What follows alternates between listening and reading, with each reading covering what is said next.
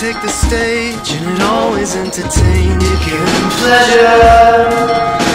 That's admirable you tell yourself and so you're glad to sell yourself to others.